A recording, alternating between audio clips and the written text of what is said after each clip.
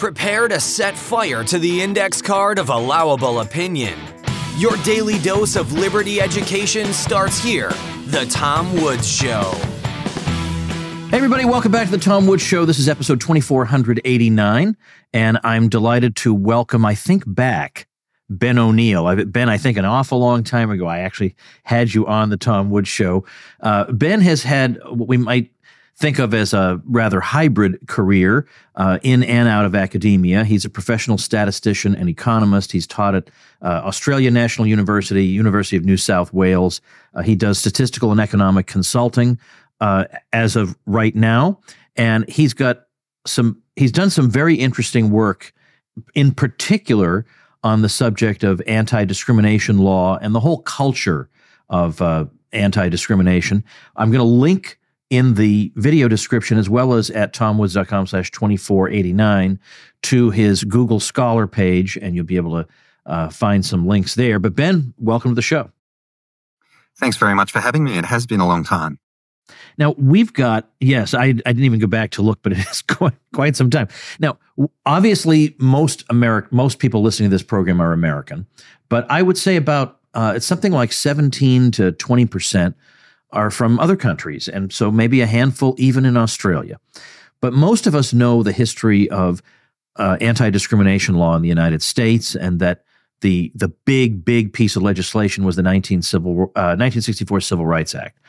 I don't actually know what the history of anti-discrimination in Australia is. Did it occur at roughly the same time, and does it consist of roughly the same rules?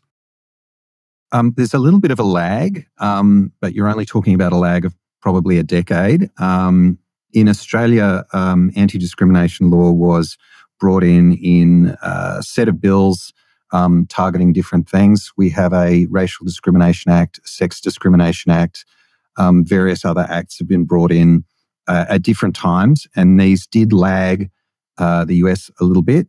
in Australia, there was also a constitutional referendum uh, with respect to the constitutional status of Indigenous people uh, in our country that occurred um, at around the same time as the civil rights era um, in the US. Um, so the things had happened probably roughly at the same time, but I'd say with a little bit of a lag. Probably following US trends, it's fair to say. Okay. Well, I, I was just curious about that. Now, this is, I mean, there's so many third rails of American politics. You know, there's, um, there's Social Security and Medicare, and whether whether you should try to do something about that coming fiscal train wreck, or there's the relationship between the United States and Israel. That's v- very hard to discuss that without everybody going berserk.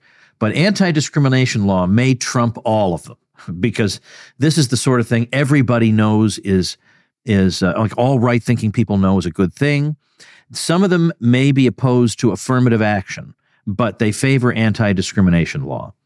So, yeah, in, I, I, guess this is where a loudmouth lunatic like me who'll say anything comes in. Um, yeah, uh, right. Know, this is this what. Is, I am very happy to invite you on because, for one thing, I don't think you really can conceptually, you really can separate anti discrimination law from affirmative action because how are we yeah, going well, to know if you're not discriminating given that we we can't read your mind. The only thing we can do is look at the demographic makeup of your workforce. So, therefore, you have to engage in affirmative action.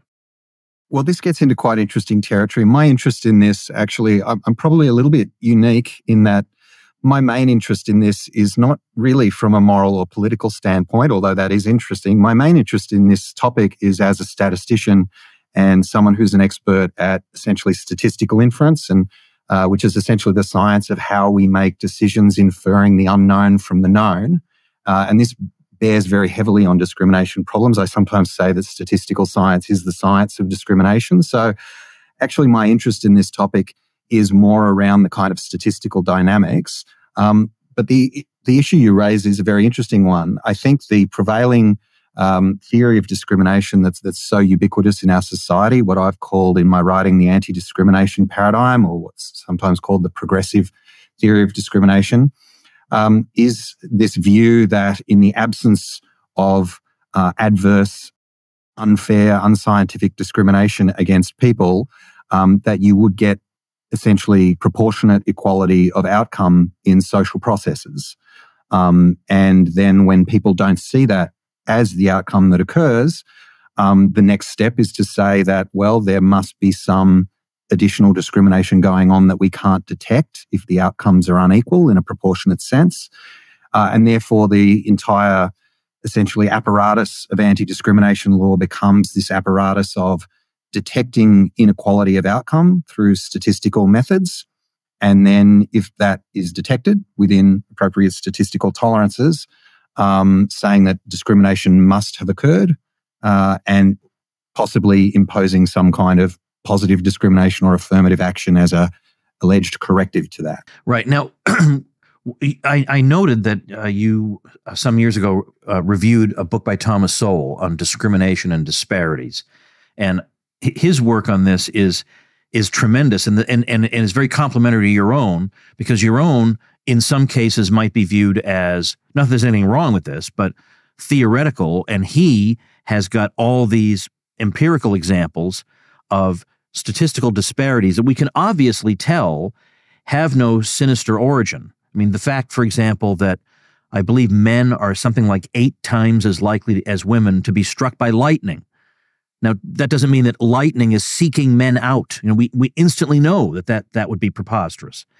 But yet, given that the, the reigning assumption, as you say, is that if disparities exist, the, the automatic, the initial automatic conclusion is that it has some sinister motive. It's it it's caused by quote unquote racism, um, and and the benefit of somebody like like Sowell is to come along and and show in the real world where a lot of times if you correct even if you simply correct for uh, differences between populations if you correct for education and age and whatever you find that the alleged disparities actually disappear yeah, well, the wonderful thing about the example you just gave, which Sowell uses in his works, is obviously lightning being a natural phenomenon is not making any conscious decisions at all. So, if this is a, a, an instance where um, outcomes differ systematically across demographic groups, which they do, and the empirical evidence shows that, and discrimination is literally impossible when you're talking about a natural phenomenon that doesn't reason, um, then it does act as a, a, very strong falsifying mechanism to that theory. But I, I think where that confusion comes from, I think generally speaking, people who aren't trained in statistics, I suppose, have often a fairly poor understanding of the relationship between correlation and cause. Um, correlation meaning simply the empirical tendency of things to go together or not go together, and cause obviously being cause, which I'm sure your listeners are familiar with. Um, one of the things we learn in scientific education is this very um, commonly referred to uh, principle that correlation does not imply cause. Many, many of your listeners have probably heard this saying that correlation doesn't imply cause. It's something we drum into science students at the universities. Um, and what we're trying to tell them is that the mere fact that two things go together doesn't necessarily mean that one is the cause of the other. And this is something that, you know, really any scientifically literate person learns. What is less appreciated, which is an equivalently true principle, is the contrapositive of that, which is that the absence of cause does not imply the absence of correlation. So if there is an absence of, say, discrimination causing uh, differences in outcome, that does not imply that there would be no differences in outcome. Um, and I think it's it's a, a, failure to appreciate the kind of contrapositive of that scientific principle that leads people to this um, intuitive but wrong view that in the absence of demographic discrimination, uh, we would expect to get social process outcomes uh, that are proportionate essentially to people's numbers in the host population. Yeah, in effect, I would be willing to guess that that's probably never occurred anywhere uh, for, for any measure because of all the differences that that exist. In fact, um, Sowell has an older book called "Civil Rights: Rhetoric or Reality." That's, I suppose, probably an earlier version in a way of the the uh, discrimination and disparities book that I think brings the argument up to date. But in there, he is uh, very much at pains to to demonstrate this point that that uh, it was something like Polish Americans are 25 years older on average than Puerto Ricans. Well, that alone means you will never ever get the same uh, uh, numbers out of them because you've had 25 extra years to build up your net worth. You have more education. You, I mean, there are all kinds of reasons um, you could be doing better in uh, you know in terms of financial success and and what have you. But you go down the line, and it's not just um, statistics like that. It's it's things like, um, at least at the time of publication, uh, Mexican American women, half of them uh, were married by age eighteen, but only ten percent of Japanese American women were married by age eighteen. Do you think that might affect? Uh, first of all, it'll affect uh, almost certainly the age at which they have children. Do you think that might affect how much they're in the workforce, how much they earn? These things are everywhere. And so to think that you're just going to get, well, we have 10% X in the population, so there'll be 10% X in every occupation is, to say the least, not reasonable.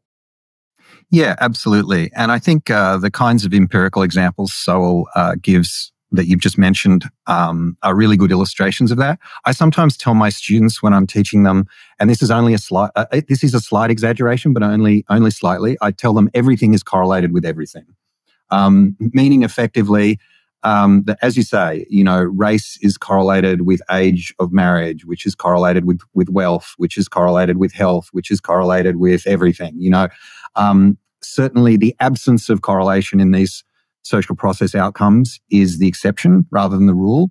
It will tend to occur either very, very rarely by coincidence or um, when someone actually intervenes with affirmative action to force equality of outcome. And that, that's about the only time you see it. So I, th- I think you're certainly right that that is the exception rather than the rule. All right, now let's get into the stuff that Ben O'Neill says fearlessly in his published work. Uh, to my great surprise, by the way, in the Independent Review, uh, I'm I'm impressed and and somewhat shocked that some of this got in there. So you have an article um, called "The Anti-Discrimination Paradigm: Irrational, Unjust, and Tyrannical," and relatively early on, you talk about uh, statistical inference and quote unquote discrimination. So I hereby, and perhaps the, I'm sure that taxi driver example is still valid today. So I invite you to share what your argument is there. Sure. Um, so this goes back to some economic research that started in about the 60s and 70s on a phenomenon called um, statistical discrimination, sometimes called rational discrimination. Essentially, how this works is um, suppose that we encounter a person that we don't know very much about um, in some context, and there's various characteristics of theirs that would be uh, of relevance to some decision we have to make um, to them. So, for example, the, the, example I give in the paper, or one of them, um, is an example from the 1980s um, where a, a, group of uh, scholars did a, a, empirical analysis of the behavior of taxi drivers um, in Los Angeles in the 1980s, and they found that uh, taxi drivers were less likely uh, to pick up young black males as fares, um, and they investigated uh, into this. In that kind of situation, you have a, a problem with very limited information. The taxi driver has to make a decision about whether or not to pick up a person based on a, a very small amount of information, just observing them very briefly, uh, in which they can really only pass that person's uh, race, sex, approximate age, you know, basic clothing and demeanor in a very short observation window. And they have to make a decision of whether this is a, a fare that is going to be a safe one to pick up or whether they're at risk of some kind of crime. Um, and one of the things that uh, statistical discrimination teaches us is that when there are what we might call merit characteristics here, say whether the person's going to beat you up or not, um, that are unknown to you, uh, statistical inference can be used to try to guess what those characteristics are from any other characteristic you can observe that is correlated with that.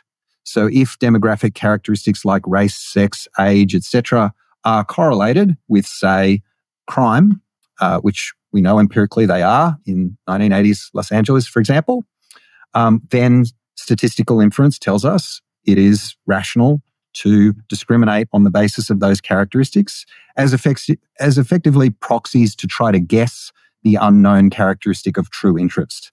Um, and what's crucial there to understand is that that is rational irrespective of whether um, those demographic uh, characteristics have any causal impact on the thing of interest. So we need not believe that uh, bio- biology and race causes crime. We need we need not believe that um, you know, for example, a person is racially predisposed to crime or something like that. We need not, need not have any causal belief there.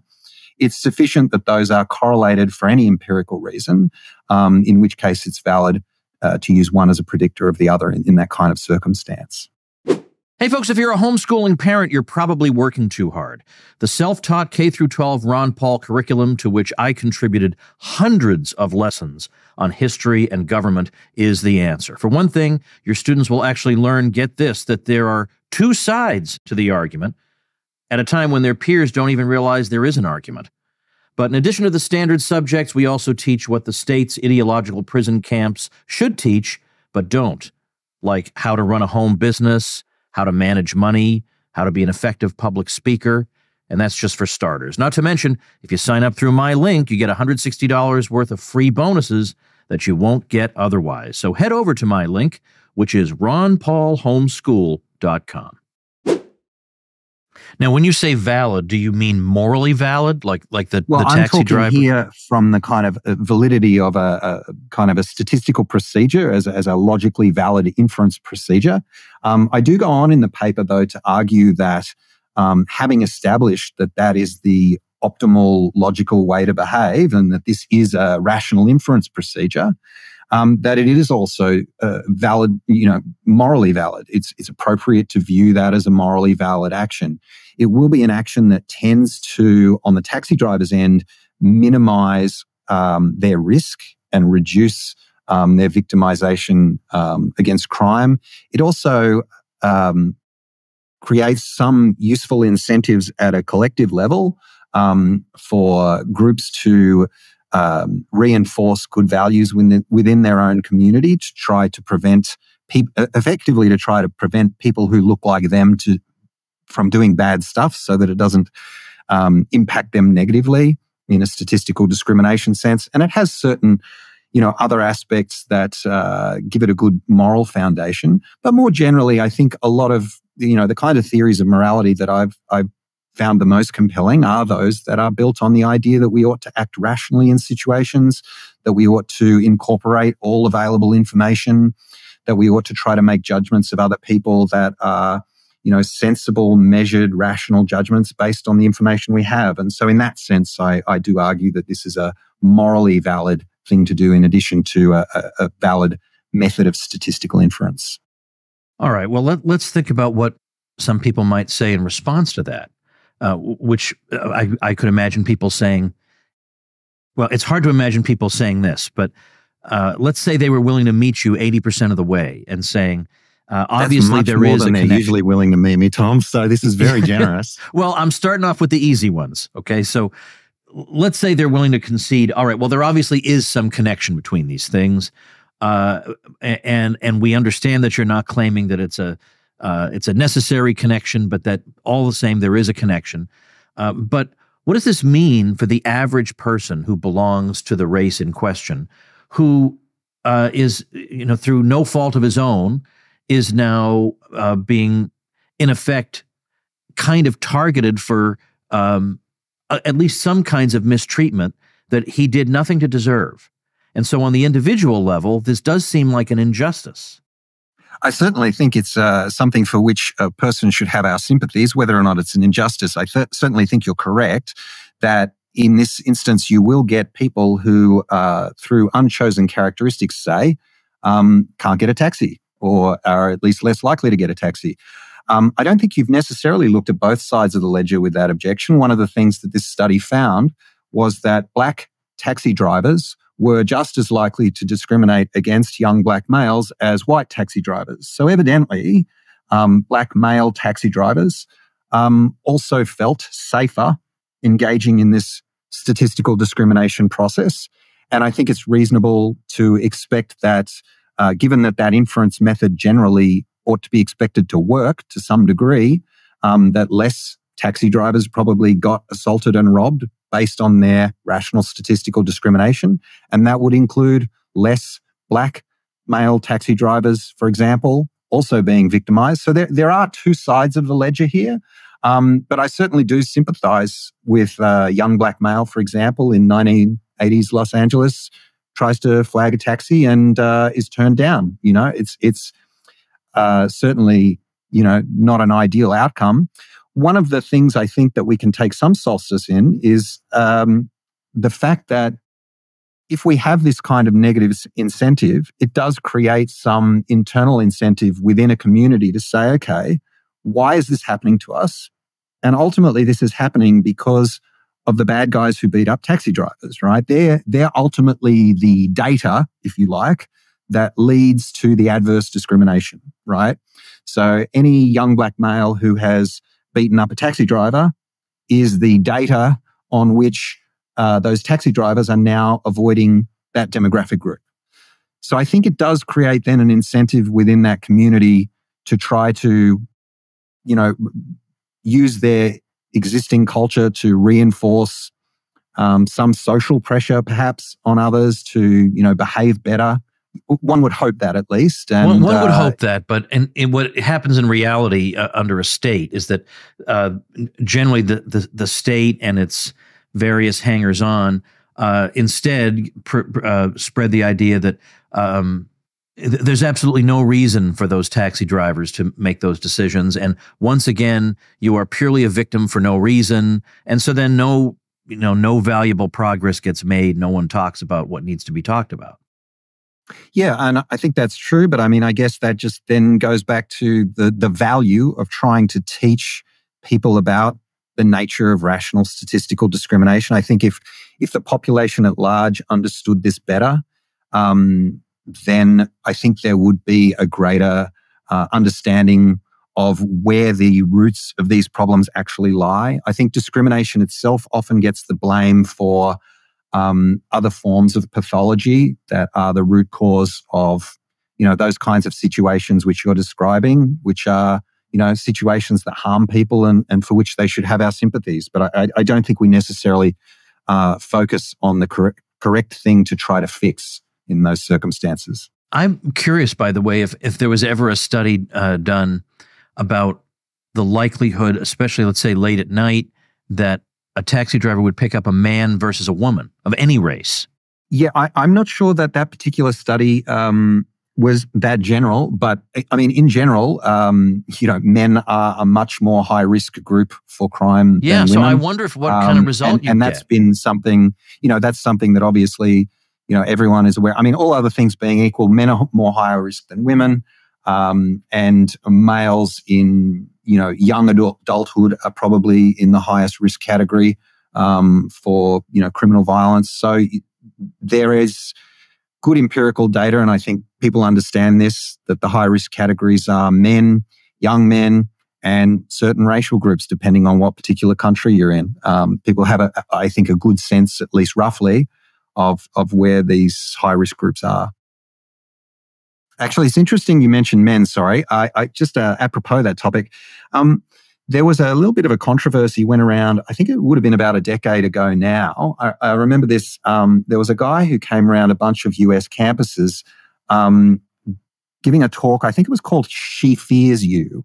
Um, and this caused a bit of a stir. This guy went around a bunch of campuses on the US and essentially counseled young men of the fact that when they're walking alone at night um, and they walk past women or they walk within the vicinity of women uh, at night, they should be aware of the fact that uh, women may fear them, even though they're personally good guys, right? And this caused a little bit of a stir. Um, some young men were very upset with the idea that even though they're personally a nice guy, um, that they would be feared and uh, treated as a potential predator. Um, I myself uh, at the time was you know a younger man and, and liked to walk at night. And i had this very experience. You have to you know be a bit careful when you're walking at night. If there's females around you need to be aware that you are perceived as a potential threat to them. I think it's because i understood rational discrimination that i was never offended by that. I just understood that this is not a negative commentary on me personally. This is simply a consequence of that person having very limited information about me knowing very little about me and simply knowing that I am in a high risk group and acting accordingly. Well, I'll, I'll be honest. When I was a little bit younger, and uh, if I would, you know, I didn't have facial hair, but if I would go without shaving for a while, and I would show up at the airport, I I would look suspicious.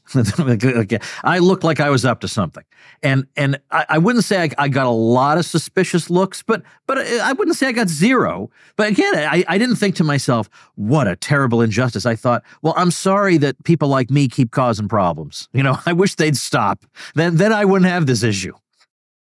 Yeah, I, have had the uh, same experience actually. Every time I go through an airport, I seem to be the guy that gets pulled up for a quote unquote random, uh, random uh, bomb uh, chemical analysis and uh, you know that kind of thing. So I mean, look, I, am probably you know have have been traveling at times where I am you know uh, military age male and you know in that in that group. Uh, but look it, it it doesn't bother me um, simply because again i think having an awareness of statistical discrimination also gives you an awareness of the fact that you know you may through no fault of your own be in a high risk group um, which is a higher yield group for people searching or targeting for potential negative things. And it's not a commentary on you personally, um, it's simply a product of limited information. Now, you in this particular article, uh, as I said, I'm, I'm linking to Google Scholar, but I should probably link to this piece of you, this particular piece from the Independent Review. Uh, yeah, that's which, probably a good one. Yeah, oh, I would say it is. It's it's very systematic, and and uh, to, as it comes to a conclusion, you have the subheading the injustice of the anti-discrimination paradigm. So i think a lot of libertarians would say that what's unjust about it is the coercion involved but that's not the angle you're taking here although i'm no doubt you object to the coercion involved but but even, if there weren't coercion involved the, the idea that i'm supposed to have certain mental states and it's wrong of me to have other mental states is also part of the anti-discrimination paradigm. So what in fact in your view is unjust about it yeah, I think it's deeper than just the coercion, although, as you say, that is an aspect of um, of the injustice. You know, I think at a deeper level, the anti-discrimination paradigm that forms the kind of philosophical basis for, I suppose, our anti-discrimination law and and more lately what we call wokeness um, is it's built on a set of axioms that are false. One of those axioms is that all discrimination is wrong, and and that is false simply because we do have this category of statistical discrimination that is actually uh, quite a rational thing to do. Another axiom of that paradigm is that in the a- absence of discrimination, whether rational or irrational, that outcomes would be proportionate across groups, subject only to random statistical variation. That's also false, as we've discussed.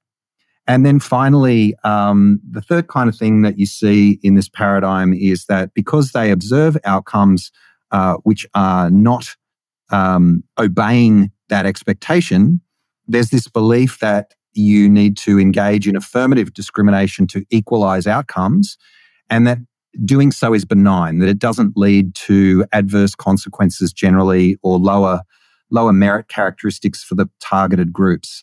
So all of this kind of manifests in a kind of um, feedback loop where I mean, say I'm a believer in the anti-discrimination paradigm, right? What what what's going to happen is I'll say, okay, no one discriminate, and we try and stamp out discrimination. And let's say we do so largely successfully, like we make it verboten for people to express racist views in society. We make it, you know, a very strong culture of you know, don't discriminate, don't discriminate, don't discriminate. But yet we see there's still massive inequality of outcome in all sorts of social processes. So then what you see happen is okay, well, we have to double down. We have to double down. We need to, you know, enforce this culturally harder and harder and harder and harder. And the answer is if we're still getting inequality of outcome, there must be some hidden racism, sexism, etc. there. And so you get this transition occurring from an initial um, advocacy that okay, we need to get rid of you know overt sexism and racism. Then it's oh well, there's implicit sexism and racism. We need to get rid of that. And then you get all the way to well, we can't see anything, so it must be structural. Like in other words, completely unobservable. You know, uh, structural racism, meaning effectively that all we can see is disparities in outcomes, and that's enough for us to to say that this is still happening. And you get this kind of um, psychosis forming, I suppose you could say, where you're getting more and more frustrated that the outcomes aren't equal. You know, your theory says that if you get rid of the discrimination, the outcomes should equalize, and you're you're pushing hard, and you're you know beating people to death with this culture, and it still doesn't happen. Well, at a certain point, I think this is where you see these kinds of pathologies arising these kinds of um, overt hatreds for groups that are getting better outcomes in the social processes, this kind of uh, overt disparagement of groups that are getting better outcomes in those social processes, um, direct um, intervention in terms of affirmative action and discrimination against those groups, um, differential standards of um, behavior and so on expected of different groups. And you start to see this kind of thing arise, and it leads to all sorts of these pathologies, including, you know, uh, the re-arising of racist ideas and things like this. So th- I think there's a lot of injustice there in a cultural sense, far beyond just the coercion. And I think this essentially comes as a kind of reductio ad absurdum of a set of false principles that are widely adopted. Folks, in this day and age, there are a lot of competing demands for your time, and a lot of them are a complete waste of your time. Well, I have an excellent way to deal with it all.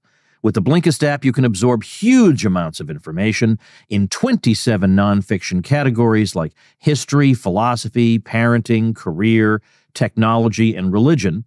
And Blinkist takes each of these books and condenses it into a 15 minute summary you can read or listen to. So that means if you have a half hour commute each way, you can be absorbing the equivalent of four books. You think that might make you a more impressive person?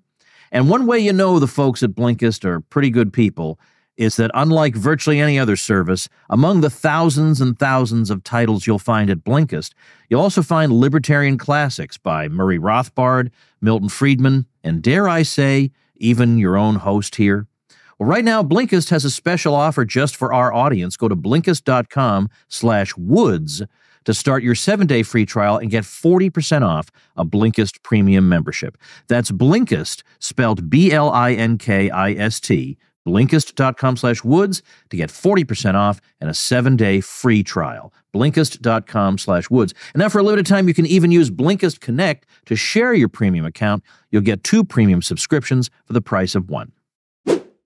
We see this kind of um, thinking in in other other paradigms, like for example Keynesianism. If if there's an attempt at fiscal stimulus of an economy and it doesn't seem to do anything and things get worse, the presumption is never well maybe our whole approach to this is wrong. Maybe our whole the way we're conceptualizing the problem is wrong. It's we didn't do enough, and then they keep doing it, and it's it's never enough. Or um, you know, during the COVID stuff, well, everybody's wearing a mask well, that's maybe that wasn't enough. So, not enough people are wearing masks. It must be that there are some people we can't see anywhere, but somewhere they're not wearing them, and we got to get, get tougher on them. So it it never occurs to them to say maybe this is not actually a useful mechanism, to, you know, to to get our desired outcome. It's we just haven't pushed it hard enough, and and that I think is what's so sinister about,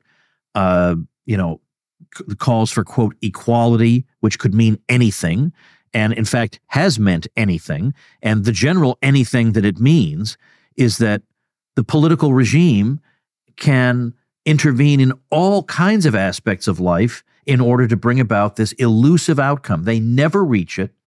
Uh, and and they never reach it because there are a million possible reasons for them not to reach it. Um, when I think about, for example, the reason that there's a, a white black achievement gap in um, you know in schools like a f- close to a four grade achievement gap. This is not because the schools are just discriminating against black students and they're just uh, in, a, in, a, in a, a, very hostile way preventing them from getting the resources they need. That is absolutely not true. I mean you look at virtually all school districts in america are run by progressives they're run by the very people who, if anything was going to work, have tried that thing. They, they've basically tried every possible thing. And so the answer now is not that, well, whatever the explanation for this, it's beyond the ability of the schools to fix. Maybe it's at the household. Who knows what the explanation is? But the schools have done pretty much everything they can at this point. No, now it's that the the the discrimination is so deep and profound and intense we can't even perceive it. So now we have to somehow seem to we got to pull it out of our society bit by bit.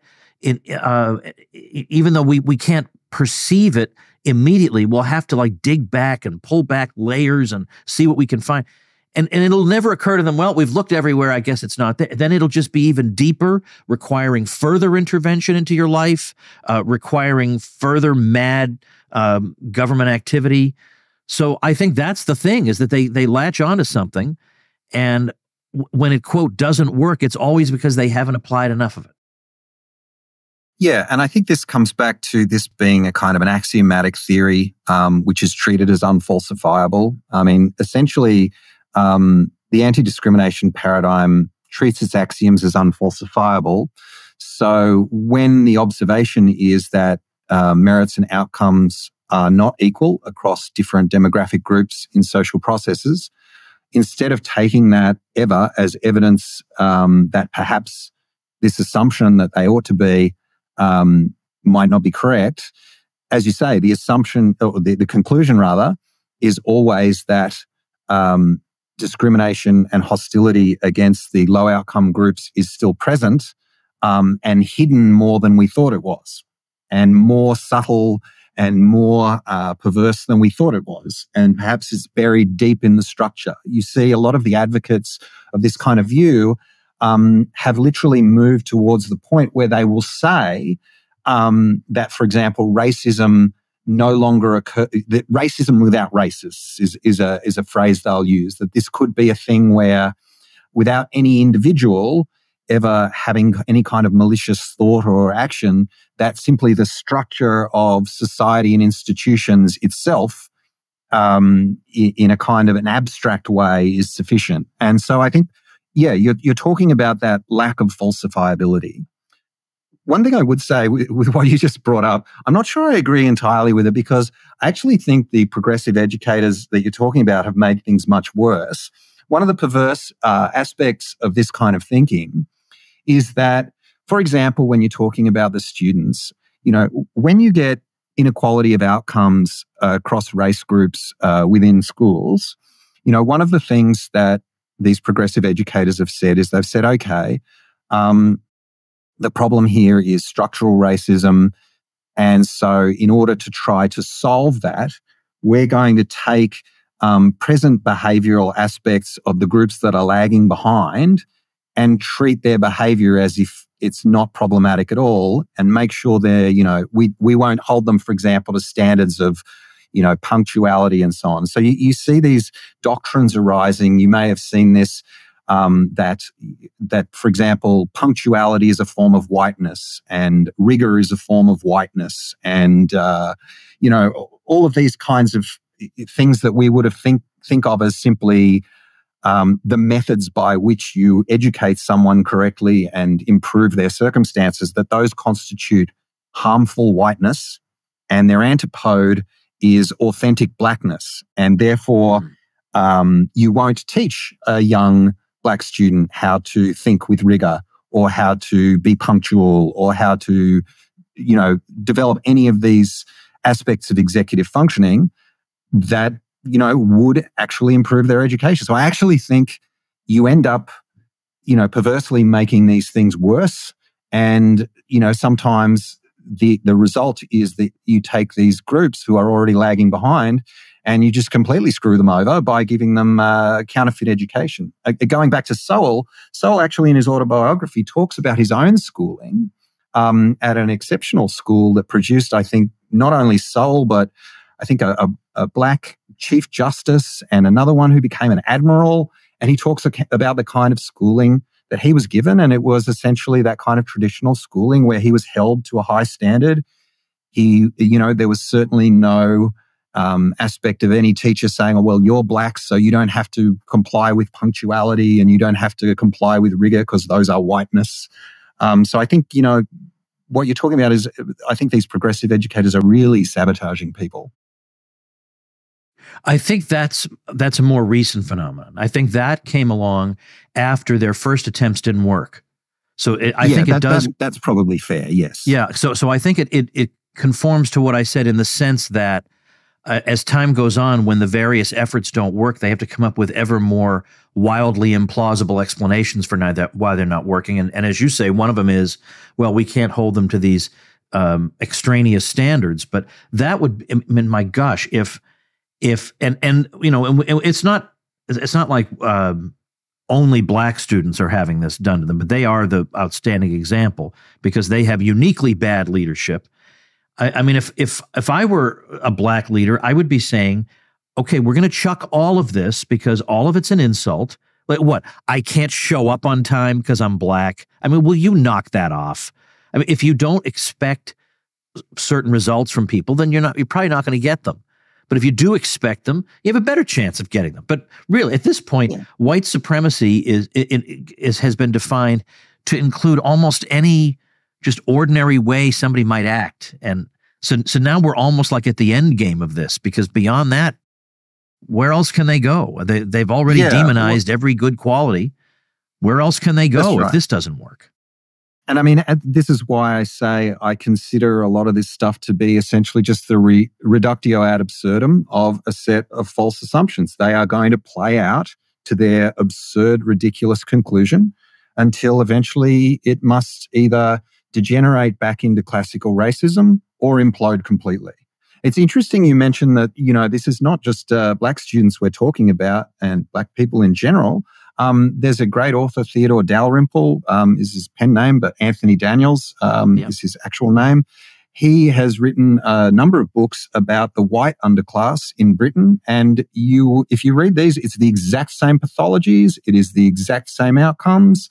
Um, so you know, you, you find that this is not something that's kind of an inherently racial thing. It, it has one dynamic in the US, it has another dynamic in the UK, um, and and completely different racial groups can suffer from these same adverse outcomes and uh, things like this under very similar cultural circumstances. So, one of the kind of points that uh, Dalrymple makes is that uh, there's a great deal of parallel between, uh, I suppose, the white underclass in the UK compared to, say, the black underclass in the US, and, and a lot of the same problems and a lot of the same outcomes.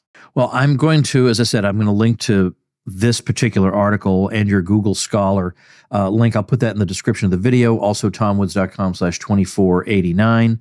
Um, you know, since you are coming to uh, us from Australia, and since we're recording this uh, late morning where I am, um, I feel bad that it's pretty late where you are, but I appreciate how cooperative and, and friendly uh, you were about all this. And uh, I hope people check out your work. Thank you very much, Tom. Thanks for having me on.